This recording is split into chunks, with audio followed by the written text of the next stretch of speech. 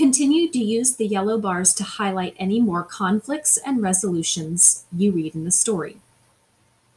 Someone could take Hammy home every weekend to take care of him, said Penelope.